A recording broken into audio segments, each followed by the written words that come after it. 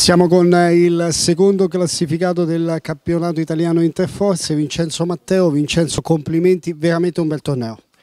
Sì, ti ringrazio, è un torneo molto tecnico, con giocatori forti, tant'è vero che ci sono volute molte ore per arrivare a questo tavolo finale, arrivare alle ZAP, è andata male però non, non, ero partito proprio per vincere perché insomma, i tornei sono difficili, però secondo è un ottimo, un ottimo risultato. Eh beh sì, eh, anche perché la medaglia di, di argento la, la, insomma, è un valore in più. Ascolta Vincenzo, eh, hai giocato, ti abbiamo seguito, hai giocato un ottimo torneo veramente, poi questo zap finale eh, parti in vantaggio circa 3 a 1 di stack, eh, che cosa è successo?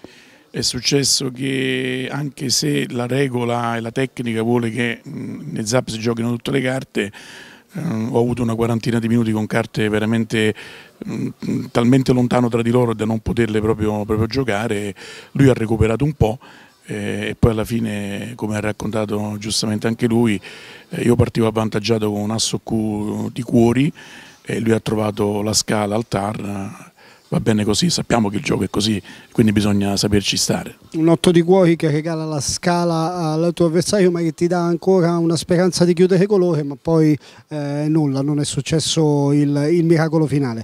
Ascolta Vincenzo, ci, già sappiamo che giocherai altri tornei in queste ISOP, quali precisamente? Sì, domani sarò presente al Freeze Out e mi impegnerò come stasera e spero di fare altrettanto bene. Io spero che vinci il braccialetto. Beh, lo sai, è difficile. Giochi uno contro 100, uno contro 50. Cominciamo a giocare, poi si vedrà. Va bene, buonanotte con Vincenzo e ci vediamo domani per il freeze out. Grazie a voi, un bellissimo torneo, buonanotte a tutti.